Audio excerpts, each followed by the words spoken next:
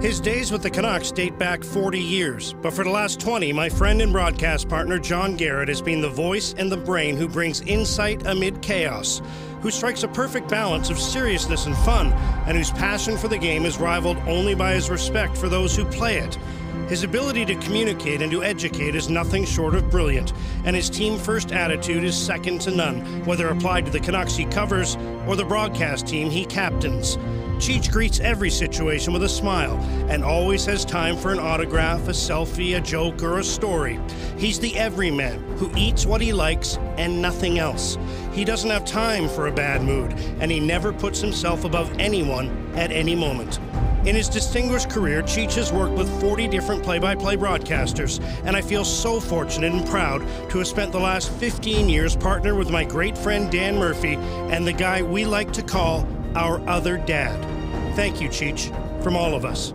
It won't be the same without you.